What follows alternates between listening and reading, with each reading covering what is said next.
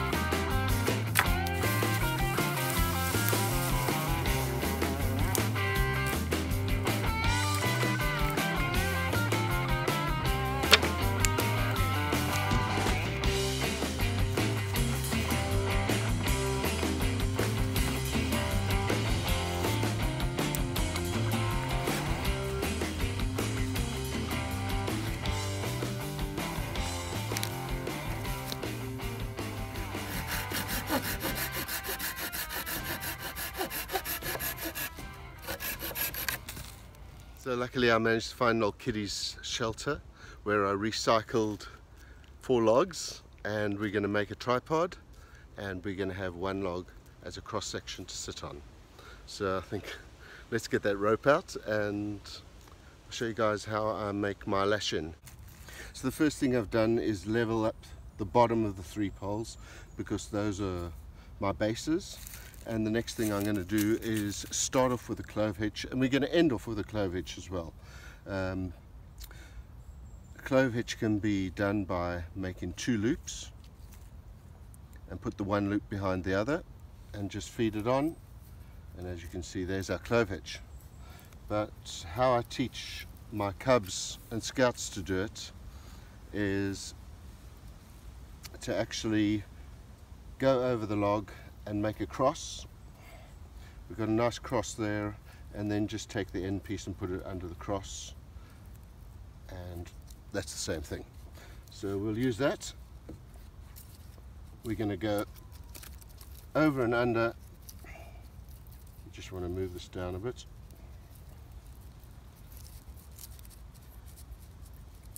And we're going to go over and under and just weave the actual lashing. Every time you go to an end, just to make sure it's tight and push it down. So nice and tight.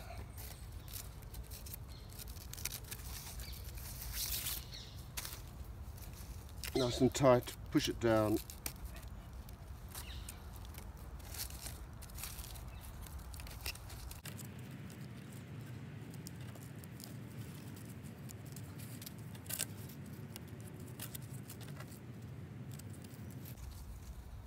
after I've got about three or four loops I can then go ahead and actually tighten them up. So by tightening up you just need to open up the poles so it can get through. And we want to bring it through this way.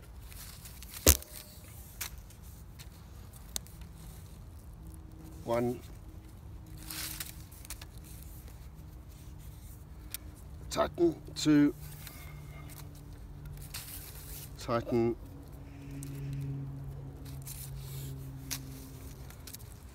three, and then do the same thing on the other side.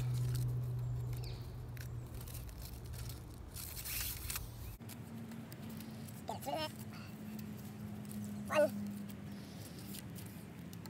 tighten two, and tighten three. So there is the lashing a little bit closer.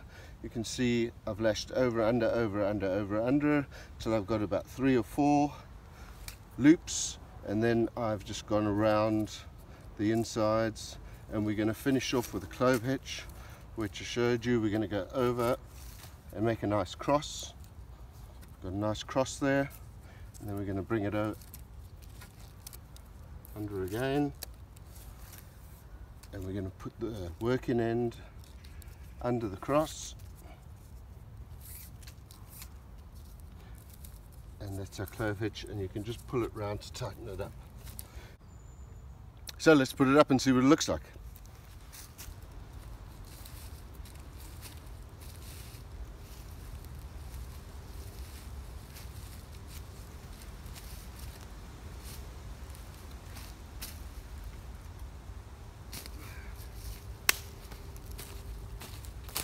That looks nice and strong.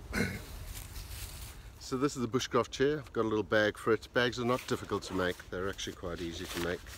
So I'll pull it out and show you. It's just a ripstop fabric. Gonna just move a little bit back.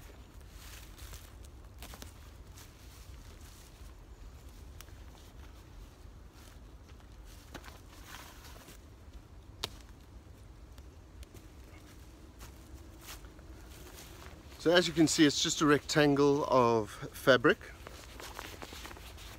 at the top and the bottom. You can see it's double stitched to form a little loop where we put a string through it. Got some paracord through it. At the bottom, I've also put a string through it, but the loop is about two inches wide. I'll actually put the diameters, um, so the length I'll put down here and the breadth I'll put down here.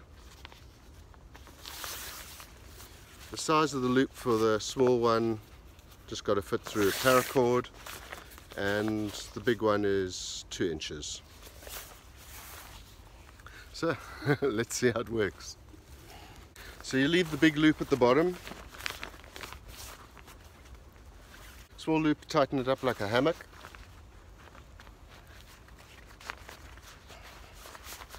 Nice and scrunched up.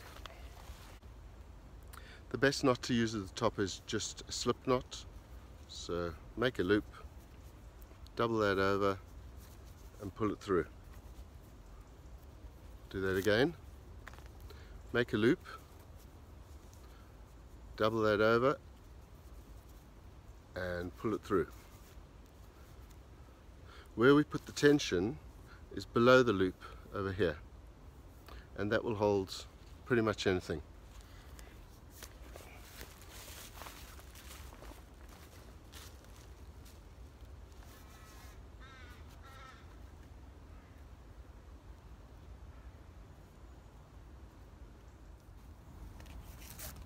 As you can see I've just popped the loop over the center pole. For the bottom loop I've got a nice pole with no branches sticking out so it's pretty smooth and I'm going to feed that through my big loop at the bottom.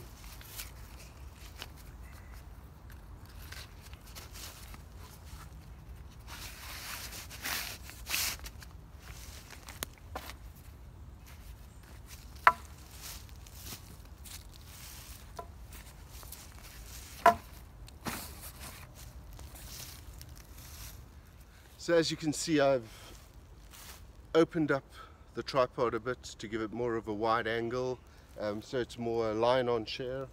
I've evened it out and here it goes.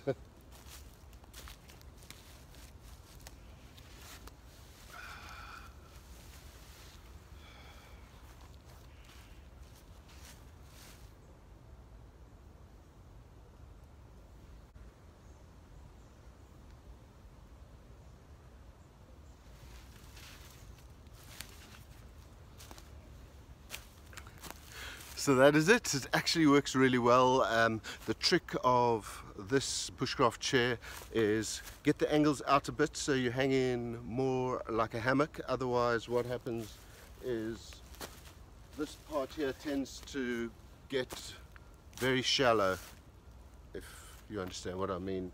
It doesn't give you place to actually put your bum.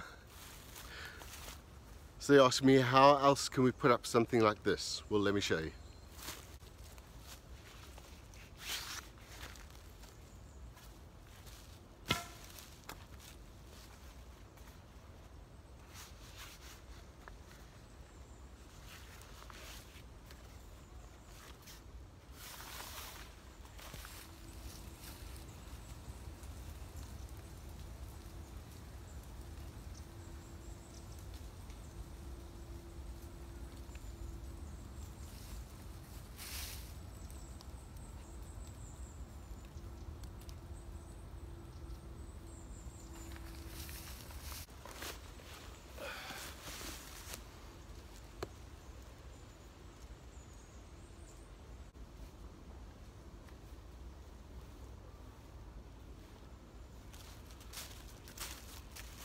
So that's about it. What about a bag? How to make a bag? You always start with your bag inside out. Um, I had to use two pieces of fabric and put them together, but normally you would just fold your piece of fabric like that and sew up the sides. But the first thing you do before you sew up the sides is you sew a loop in the top. I've made a double fold there so it doesn't fray. If you have a look, you can see there's a little fold underneath there. So you can try that if you want. So you first do your loop and then you sew up your two sides and then you turn it inside out and you've got a bag. It's not rocket science. If you've got a wife or girlfriend or a partner that has a sewing machine, ask them to help you with it. Otherwise, you could sew it by hand. It's pretty easy. Just double stitch if you're doing it by hand. And that's about it. Hope you guys enjoyed the video uh, and are staying well. So thanks very much and God bless everyone.